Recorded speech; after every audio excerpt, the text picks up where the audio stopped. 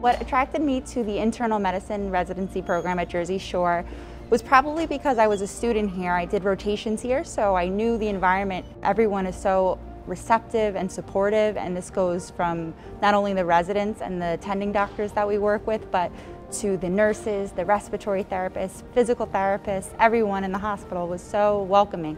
And I felt like this was a place that I would be supported and could thrive, and I was right. The culture of Department of Internal Medicine believes in fairness, equality, and dignity. Everyone is approachable. You're not left out in the wild to deal with your problems on yourself. One of the programs which we have is Feedback Friday. It's a monthly conference between the Department of Internal Medicine chairman and all the residents. This is a perfect platform to raise your concerns, your questions, or your suggestions to make the program better. Here, the concerns are not only heard, but they are also taken care of. Jersey Shore has huge exposure in terms of different patient population. We have a lot of you know resources for um, academic resources and research as well. So I believe those are other things that attract a lot of our current residents to just stay here. And we also have a mentorship program which is tailor-made to fulfill the needs of the resident.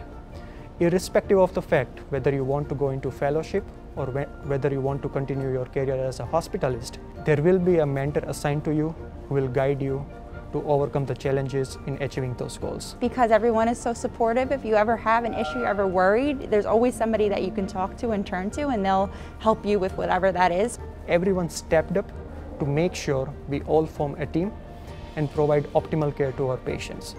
And that has not only led to a very good experience as far as teaching is concerned, but also giving the best of patient care during these testing times.